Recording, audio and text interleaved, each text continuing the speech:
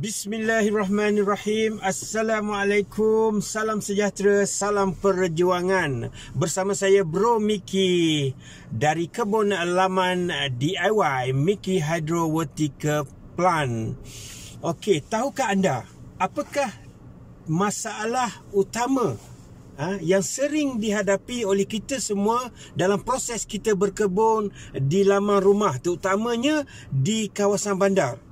Dan apakah solusi, apakah penyelesaian untuk menyelesaikan masalah ini.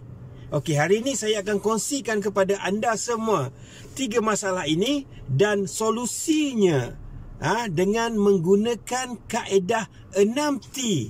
Apakah itu kaedah 6T? Ha, jadi, jika anda nak tahu, anda kena tonton video ini sampai habis. Boleh tak macam tu? Okey, Masalah yang kita sering hadapi uh, ketika kita berkebun uh, terutamanya di laman rumah kita. Okey. Saya tahu anda semua memang minat berkebun, uh, mempunyai hobi berkebun. Apabila kita mengetahui tentang apa masalah yang sering berlaku ni dan kita ada jalan penyelesaiannya dan jalan penyelesaiannya saya akan cerita selepas ini.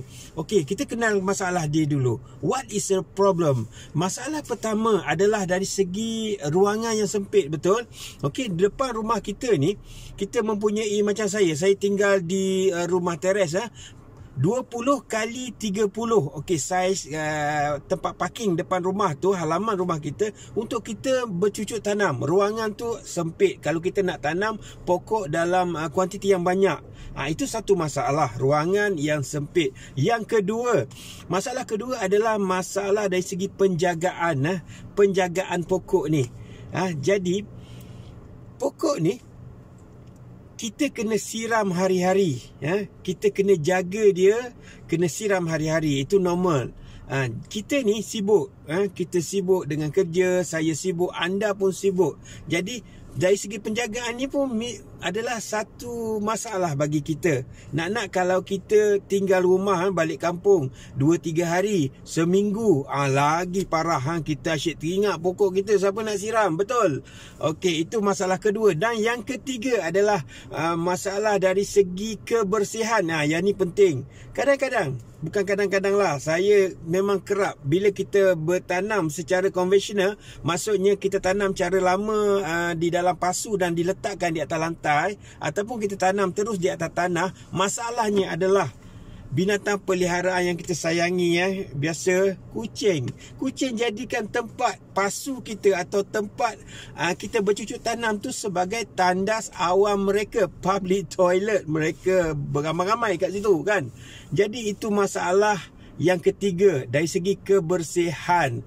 So tiga masalah utama ni sebenarnya masalah yang bukan saya seorang saja yang alami tapi saya tahu ini adalah masalah ke semua orang. Terutamanya kita ni yang tinggal di bandar ha? Di tinggal di kawasan urban area ha? Bercucuk tanam rumah teres ha, ha dan juga kawasan-kawasan taman lah ha? Kebanyakannya. Dan bagi disebabkan masalah ni lah okey? Disebabkan masalah ni lah saya telah mencipta satu kaedah penanaman iaitu saya namakan kaedah 6T. Apakah itu 6T? Okey, 6T itu adalah tanam, tinggal, tuai, tersusung, terapi dan tenang. Okey, 4T yang pertama ni ha, yang kita kena buat dan 2T yang terakhir itu adalah satu benda yang bonus yang kita dapat selepas kita melakukan empat T yang pertama. Ah, pening sikit kan? Apa tu kan? Okey. Saya start dengan T yang pertama. Tanam, tinggal, tuai, tersusun, terapi, tenang. Okey, tanam. Okey, memang biasa. Kita, uh, kaedah kita tanam. Okey, tanam. Kita nak tanam. Kita uh, tanam, tinggal. Kita nak tinggal. Kaedah mudah. Sebab kita tinggal. Ya. Tanam, tinggal. Lepas tu kita tuai. Kan? Itu biasa. Tanam, tinggal, tuai. Tetapi apabila kita susung. Tersusung T yang keempat insya-Allah kita akan dikurniakan dianugerahkan T yang ke lima dan insya-Allah T yang kenang tu akan datang sendiri insya-Allah eh yang tu saya akan elaborate lagi nanti uh, supaya benda ni uh, anda lebih faham okey dan T yang keempat tu saya cakap apa tadi? Terapi. Ya dia menjadi terapi. Apabila kita kita susung dengan kemas susung dengan teratur eh dan uh, menjadi terapi hilang kita punya stres dan insya-Allah kita akan jadi tenang. Ah itulah dia ha? dan semua yang saya uh, cerita ni adalah saya dah buat. Dan saya nak kongsikan kepada anda uh, bagaimana saya buat ha? Bagaimana kita nak buat sama-sama? Kita nak DIY benda ni. Dan kita nak apply. Okey. Insyaallah. Jadi kelebihan 6T ni yang pertama ha? yang pertama adalah menjimatkan ruang eh, menjimatkan ruang. Ruang yang sempit tadi kita dapat menjimatkan ruang. Kena, kenapa? Kerana kita menggunakan kaedah vertical farming. Okey? Kaedah menegak. Okey macam ni ha, kita panggil uh, hidroponik takung dan rak gantung. Okey yang ni kita boleh letak kita boleh susung pasu sebanyak uh, 15 15 30 pot. Kan? Dan kita boleh tanam tiga, lebih 30 pokok. Ha, sebab dalam kadang-kadang dalam satu pasu tu kita boleh tanam dua pokok macam tu. Jadi boleh menjimatkan ruang ha, dan juga yang jenis tower macam ni okey yang jenis tower ni ha, boleh gantung tujuh tiga layer. Tujuh tujuh dan tujuh. Okey tiga layer. Jadi tujuh pasu tujuh pasu dua puluh satu pasu. Hanya menggunakan ruang uh, lebih kurang dalam uh, sekaki setengah. Uh, kali sekaki setengah. So kita boleh tanam banyak pokok uh, di halaman rumah kita yang sempit. Itu adalah konsep yang uh, saya katakan tadi menjimatkan ruang. Uh, sebab kita guna konsep vertical farming dan juga konsep hidroponik dan yang kedua adalah dari segi penjagaan. Apabila bercerita tentang hidroponik dia tidak memerlukan uh, tanah. Kita tak tanam uh, guna tanah. Kita tanam uh, menggunakan uh, media tanam seperti kokopit dan kita letak air terus atau larutan nutrien uh, di dalam uh, bekas takung ni ha, kita pakai konsep uh, hidroponik takung ha, ataupun uh, konsep sumbu weed uh, weed system. Dan uh, kita tak perlu nak siram ya.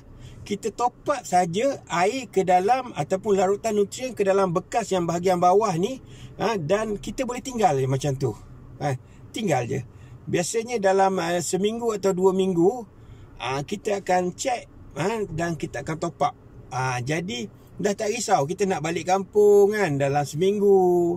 Kan kita kita dah tak risau lah. Tak payah kita nak risau nak siram pokok nak call kita punya apa jiran. Hello hello bro. Bro tolong siram pokok aku bro. Pokok aku panas lah. Aku risau. Kita risau. Jadi kita dah tak perlu risau yang kedua tu. Kita tinggal. Dan kelebihan yang ketiga dari segi kebersihan tadi. Apabila dah gantung macam ni memang tak ada harapan lah si kucing. Eh, untuk menjadikan kita punya pasu ni sebagai tandas dia lah. Jadi bersih ha? kita boleh makan kita punya sayur kita punya ulam-ulam ulam raja bayam brazil ha? kita punya sayur-sayur ni ha, tanpa was-was lagi okey? Kita boleh makan tanpa was-was. Dan kebersihan ni adalah satu tuntutan ya? Dan kita kena ini bagi saya penting lah yang paling penting dari segi kebersihan. Sebab kita nak makan sayur tu kan? Okey alright tiga kelebihan. Dan apabila kita susun dengan tersusun kita susun dengan tersusun. Maksudnya kita, secara automatik susunan dia akan menjadi satu uh, dengan kaedah macam ni kita akan susun. Cantik-cantik. Kita susun kemas-kemas. Dan apabila tersusun T yang keempat tu itulah yang akan menjadi terapi dan kelebihan dia menjadi terapi minda kita dan insya-Allah akan menjadi terapi jiwa kita juga insya-Allah eh. Dan akhirnya apa yang kita nak? Kita nak T yang last tu. insya-Allah kita akan dianugerahkan oleh Allah Subhanahu Wa Taala tenang tu. Apabila apa? Apabila kita melakukan sesuatu usaha kita tadi iaitu kita tanam dengan kita tinggal eh kita tuai ha, kita cuma tanam je. Tanam yang tinggal tuai tu tak payah buat apa kan? Cuma kita top up lah adalah. Tanam tinggal tuai. Apabila kita tersusung insyaallah akan menjadi terapi dan ia akan mendapat tenang. Insyaallah kita akan tenang di dunia dan kita kekal tenang di akhirat. Kita doakan insyaallah amin amin ya rabbal alamin. Dan itulah kelebihan kaedah 6T dan inilah antara hasil-hasil uh, apa ni yang saya cakapkan tadi vertical farming uh, menggunakan kaedah 6T okey kalau kita boleh tengok ini hidroponik takung rak gantung. Okey uh, ciptaan saya. Yang kedua adalah uh, yang ni pula adalah kalau kita tengok ni adalah uh, saya panggil uh, vertical tower. Okey vertical tower eh okey. Ah yang ni pun saya dah uh, buat bagaimana nak buat menara pasu ni saya dah share dalam saya punya YouTube channel. Dan juga uh, bagaimana nak buat uh, hidroponik takung tu saya dah share dalam YouTube channel saya. Boleh tengok dalam uh, YouTube channel, channel saya M Saimiki Ibrahim ha, M Saimiki Ibrahim boleh uh, subscribe, boleh tengok, boleh tonton dan juga like and share kalau ia memberi manfaat kepada anda, ha, share kat kawan-kawan. Okey supaya ramai kawan-kawan kita dapat belajar bagaimana nak buat, ha, how to do it. Ha. Dan uh, saya juga share bagaimana kita nak uh, buat apa ni hidroponik takung ni dalam uh, kalau kita nak tanam pokok yang lebih besar. Ha, kalau kita nak tanam pokok yang lebih besar contohnya pokok kobes atau pokok cili kita tak boleh guna botol botol yang 1.5 liter ni ha, botol 1.5 liter ni sesuai tanam pokok-pokok sayur seperti sawi salad eh, salad lagi apa lagi? Kailan kangkung uh, dan pokok herba seperti uh, bayam brazil uh, apa lagi? Uh, daun sop daun sop mint uh, pokok mint uh, pudina pudina dan sebagainya lah. Dan apabila kita nak tanam kobis ataupun cili kita perlu uh, pot ataupun bekas yang lebih besar eh, yang lebih lebih besar. So saya gunakan yang uh, 5 liter ni, botol 5 liter ni. Okey, botol 5 liter ni dia boleh uh, boleh besar lagi lah untuk pokok seperti pokok kobes. Yang ni saya tanam kobes. Ha, menggunakan kaedah hidroponik takun juga. Kaedah sumbu ni, weed system.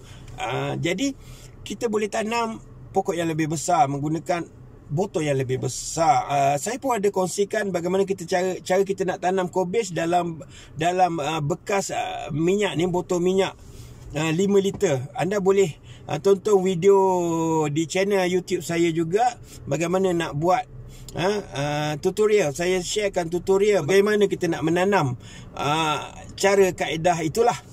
Uh, dan seterusnya banyak juga perkongsian-perkongsian uh, berkenaan dengan projek DIY di rumah saya sharekan dalam uh, YouTube channel saya. Memang itu adalah hobi uh, saya uh, bertukang uh, bertukar mereka cipta berkebun uh, uh, itu adalah antara hobi-hobi saya lah saya suka buat weekend saya akan buat dan insyaallah uh, setiap apa yang saya buat tu dan apabila saya merasakan ada sesuatu yang saya perlu kongsikan kepada anda insya-Allah benda tu akan saya kongsikan. Ah mengikut kesesuaian lah insya-Allah. Dan itu adalah satu PL ah PL apa dia? PL ah PL saya lah. Suka sharing ah suka sharing sebab saya bukan uh, sharing benda yang saya tahu saja. Tapi saya share benda yang saya tahu dan saya buat bila saya buat saya dapat sesuatu dan saya nak ha, anda juga dapat sesuatu pengalaman dan inspirasi ataupun boleh ambil ha, pengajaran ataupun kebaikan yang ada jika anda dapatlah jika anda nampaklah ada manfaat apa yang saya kongsikan ha, insyaallah anda juga boleh kongsikan kepada sahabat-sahabat anda Okey, saya rasa itu saja perkongsian saya uh, kali ini. Uh, anda jangan lupa ya uh, untuk uh, subscribe, like dan share uh, YouTube channel saya M Miki Ibrahim. Uh, banyak saya berkongsikan tentang uh, bagaimana kita nak uh, bercucuk tanam uh, di laman rumah uh, di halaman rumah kita dengan kaedah yang mudah, kaedah yang senang, kaedah yang uh, murah ha? kita boleh DIY sendiri ya kita boleh DIY sendiri dan banyak kita boleh tanam sayur ha?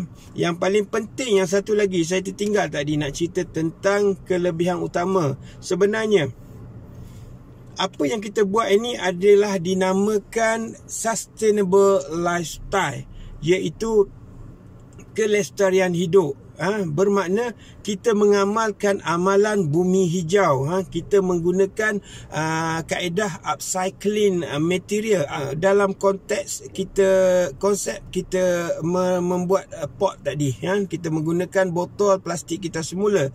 Jadi plastik ya penggunaan plastik ni kita recycle adalah satu uh, kaedah amalan ya yang baik untuk kita menyelamatkan bumi kita ha, daripada pencemaran ha, dan kita menanam pokok ni untuk menghijaukan bumi kita. Go green ha. ini adalah satu amalan sustainable yang dinamakan sustainable lifestyle. Ha, ini sebenarnya ha, we are green warrior Ah kita sama-sama ah dengan we are green warrior. Itu adalah satu uh, hashtag yang patut kita uh, letakkan dalam hati kita we are green warrior. Kita sama-sama uh, dengan usaha kita yang kecil ni kita sama-sama buat untuk kita uh, sama-sama melestarikan amalan bumi hijau insya-Allah. Jadi itu saja perkongsian saya untuk kali ini. Terima kasih kepada semua yang mendengar, yang menonton daripada awal hingga habis dan menonton saya punya rakaman ah. Uh, Oh, tu, tu, dah serak dah. Okey, tak apa.